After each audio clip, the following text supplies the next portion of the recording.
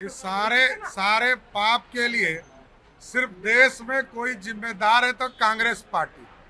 पचहत्तर वर्ष के आज़ादी के बाद जिस पार्टी ने 55 साल राज किया हो,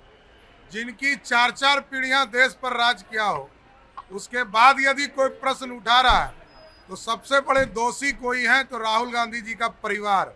जिसने सत्तर वर्ष तक इस भारत को लूटने का काम सारे सारे पाप के लिए सिर्फ़ देश में कोई जिम्मेदार है तो कांग्रेस पार्टी। पचहत्तर वर्ष के आज़ादी के बाद जिस पार्टी ने 55 साल राज किया हो,